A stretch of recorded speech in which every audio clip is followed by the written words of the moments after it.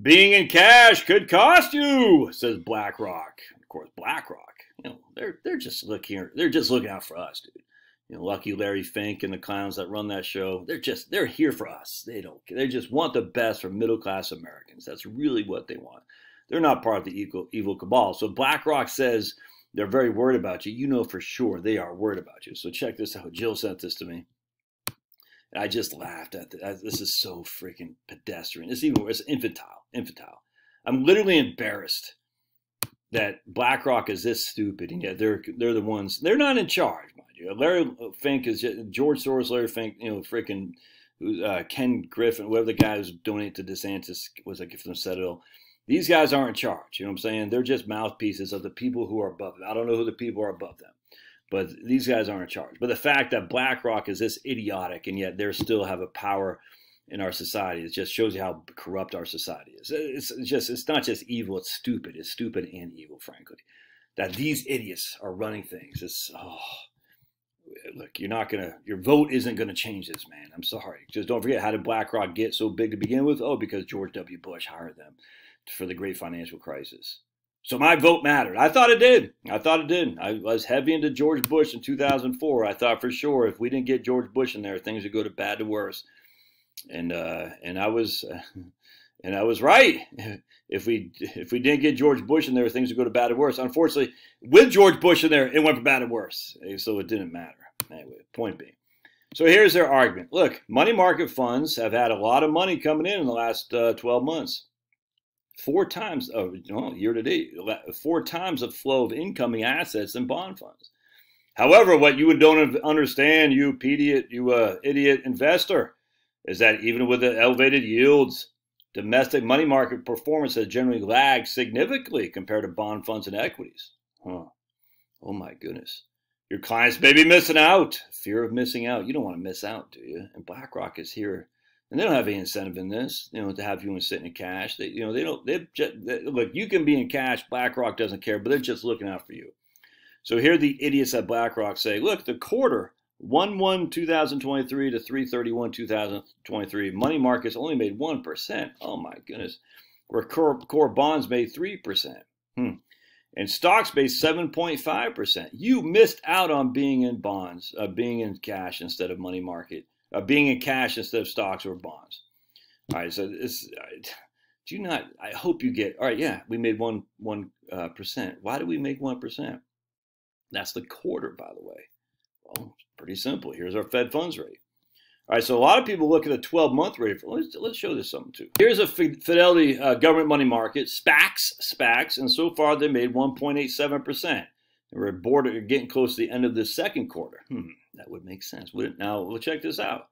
For the 52 weeks, they've only up 2.34. They only made 2.34. How could that possibly be? They're only making 2.34. And for three years, they only made 0.78. Well, because of Fed funds rate, man. The Fed funds rate was, I mean, look at this. This is going back uh, to 2022. Let's make it go back to well, 2000, well, right there. Blink, watch this. The Fed funds rate was was three base, seven basis points, eight basis points from 2020 to 2022, there, you didn't make any money in the, in the short term because the Fed funds rate was so low. So now what happens is we go from Fed, we go from point, we go eight basis points to 20 basis points to 30 basis points to 1.21. So we're going up the, the calendar here, the ladder here, but still, even at the end of July of 2022, at you know, nine, 11 months ago, the Fed funds rate is still only 1.68. So let's just say you dropped uh, a million dollars in the Fed funds rate. All right. So for one month, you got an annualized yield of 1.68. For another, the next month, you got an annualized yield of 2.33. All right. And again, that's for whole, if that's if you kept the thing at 1.68 for the entirety of those 12 months, but you didn't. The next month, you got 2.33. The next month, you got 2.566. So the point being is you don't you don't just get all this right here, the current rate in one fell swoop. It took 12 months to get where we are. And again, one month you got, I mean, literally a year ago today, you were getting, uh, was it three, was it June of 2022 in the Fed funds rate? It was uh, June of 2022, you were getting 1.21.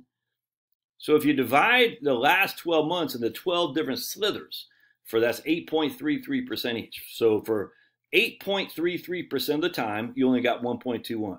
For another 8.33%, you got 1.68. For another, you got 2.33. So what that simply means is that's why our 12-month rate of return on this is only 2. Point, uh, what is it here? Uh, 2.34 because we didn't get 4.75 for the entirety 12 months. We, we got an average of 2.34 because the Fed funds rate was going up. And now the Fed funds rate is right here. Look at this 5.06. Fidelity Money Market is paying 4.75. Right now, BlackRock, the idiots, they say, look, you only made uh, 1%. Yeah, because we had an, an annualized yield of 4% back then, BlackRock. 4 divided by, uh, is, so that means if you have four quarters in a year, that means 1% each and every quarter. We got 1% the Q1, 1% Q2, 1% Q3, 1% Q4. That's how that works. So BlackRock saying, look, the stocks did 7.5, where bonds, or the money market only did 1. And ironically, let's go back to Fidelity. So far, year to date, we're at 1.87. So by the end of this quarter, there'll probably be a little bit north of 2% year to date. Why? Because the Fed funds rate has been growing. All right, so uh, uh, it's just it's, it's mind-boggling how idiotic that BlackRock is saying this, and even it's even worse here too. So reassess your client holdings to cash because you missed out on this right here, and we're going to talk about that here in just a second. On top that, we're going to go down here, and then they have this idiotic cash can be a, uh, a drag. What they're saying, drag is negative? How dare you, BlackRock? How dare you say drag in the negative light? You should be freaking canceled off Twitter, misgendered. Drag, we're supposed to celebrate brave and beautiful and drags, and we should be in front of celebrating that in front of kindergartens too. So how dare BlackRock? How dare they? Cash can be a drag as if drag's a negative thing.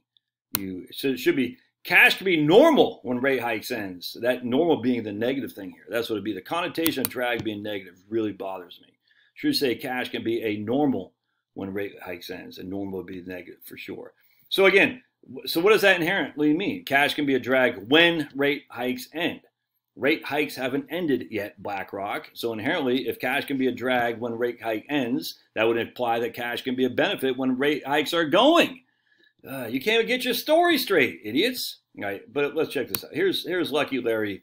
Uh, I want to show you this one thing that uh, my man, I think it was Thomas, sent to me. We're going to talk about Lucky Larry here.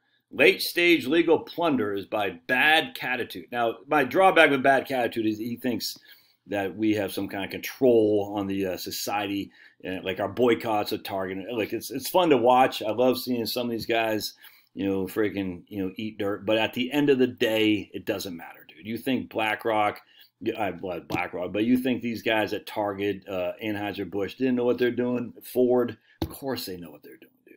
I just laugh, I laugh. I mean, we're being played as if, oh my goodness, we're, we're making a difference. Remember, they just want you in the realm.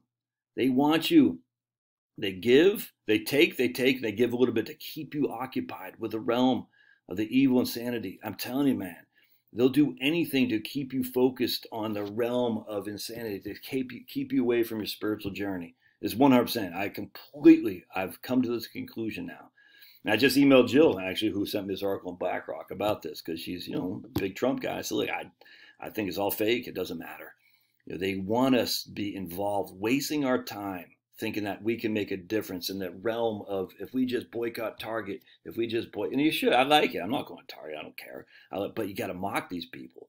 You know what I'm saying? But at the end of the day, it doesn't matter. If you think that Ford didn't know what they're doing, Major League Baseball didn't know what they're doing, dude, they're pushing, they're pushing, and pushing to draw you back in. It's like when they put Elon Musk in front of Twitter. You think they did it to be free speech? No, they want to draw people back in. I, I just, I don't know how people don't see this.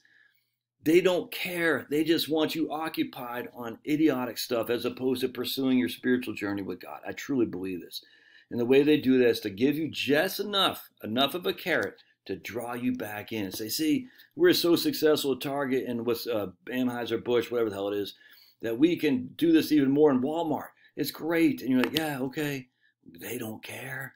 They don't care. Look at, think about it. Uh, 10, 10, 15 years ago, both Biden and Sniffy Joe said a marriage is between a man and a woman. Unequivocally, they did. All right.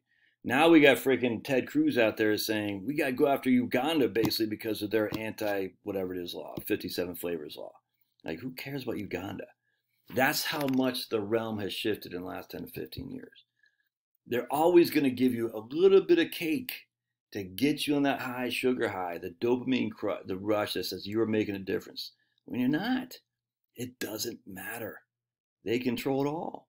You got to get back to your own personal jihad to fight those demons, to get rid of the alcohol, the pornography, the gambling, the spending, all that stuff, and to get back on your personal journey with God. Look, this is me too. I'm talking to myself. But this is what they do. They throw these little tidbits to make you think you're making a difference when you're just not. All right, let's keep going. So here's Lucky Larry. Uh, again, when the corporations are advertising your movement, you aren't the resistance. Okay, we know who, look, we know there's things you can't say. And those are the people and groups who are in charge. Just we know there are groups of things you can't say about people, and those are the people in charge. That's all there is to it. So if the corporation is saying, "Look, uh, they, they just want you involved," that's what they want. They want you wasting your time involvement. So here's Lucky Larry, uh, right here. Uh, Black so BlackRock increases ownership of Fox Corp uh, in February to over 15 percent. They're now the largest one, number one largest stakeholder, and hold all the cards and then they turn around and fire Tucker at the same point, as if Tucker. Oh, come on.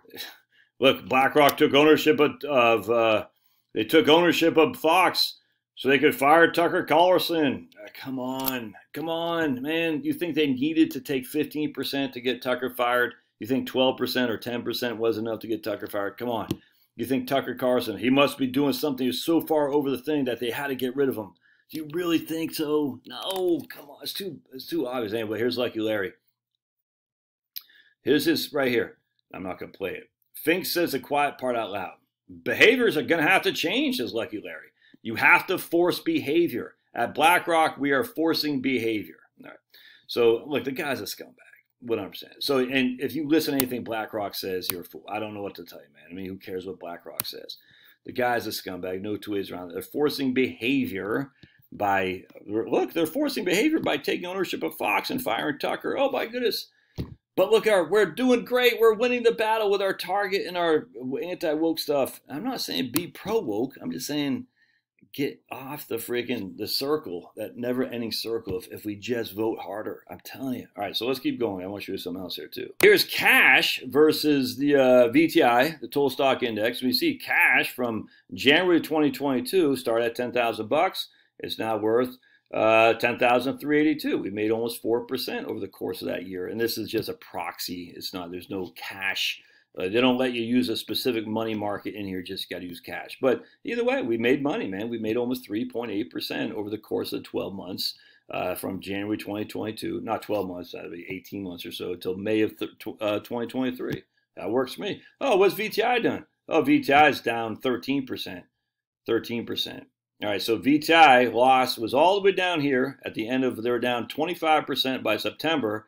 Now they've gone from 7,500 bucks to 8,700 bucks. They made 12,000 over 7,500.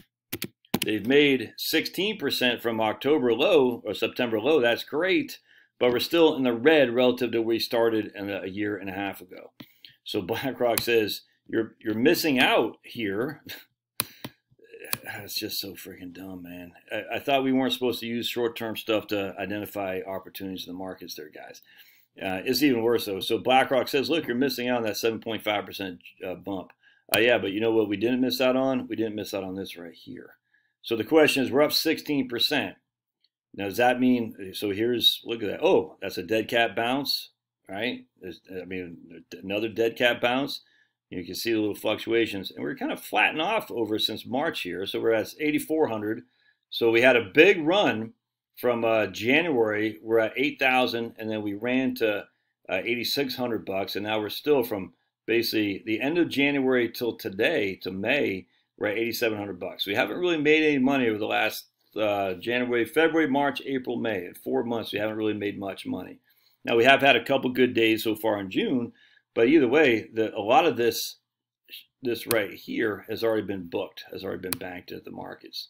I don't know if it'll keep going. I don't know. I, no one knows.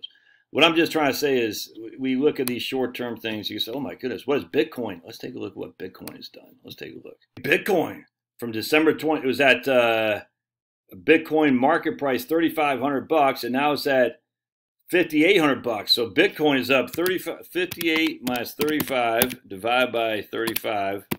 Bitcoin is up 65%, Lucky Larry. So shouldn't we then be looking at Bitcoin? Because our, our, our Bitcoin is way up over stocks. So if I'm sitting in stocks, what am I missing out on by being in Bitcoin? That little thing's so stupid. And it's even worse. This is how idiotic that BlackRock is. So notice they'll say U.S. stocks 7.5. Right there, they say money market funds 1%. You see where it says that? U.S. stocks right there, 7.5. Money market is 1%. What, oh, U.S. stocks 1.7. U.S. stocks 2.3. U.S. stocks 3. We can't even make up your mind what U.S. stocks are. I mean, they, they meant to say this is core bonds right there. That's municipal bonds. That's uh, short-term bonds. They just a typo. This is how insane it is. These are the people in charge of the world. Uh, come on, man. It's all fake. It just really is. And I, uh, I'm, I'm surprised. I'm not surprised. You just got to watch the fear of missing out, dude. You, you got to watch the FOMO. Because it, you're like, man, I, I, look, I get it. When the market kicked ass on Friday, I was like, man, I wish I had all my money in the markets, but I know I don't. And I know I don't for a reason. I, I can't afford the downside risk. I have a third of my money in the markets, a little bit more, but I just can't afford it. And if you're comfortable with 5% a year, that's what you're getting on the money market right now. Doesn't mean you're always going to get that, but you got to look at a gauge. What am I comfortable getting? Five. All right, that means if the stocks go 12, remember you said you were comfortable getting five. You said that. You said that. You said to me, you said to yourself, you said to your wife. I don't care. If you're comfortable getting five, don't turn around and say, well, the stocks are giving us 12, thus I need to be in the markets. Why? If you already said I'm comfortable with five, you're getting five of the money markets right now. Don't look a gift horse in the mouth. All right, love your thoughts. We'll see you.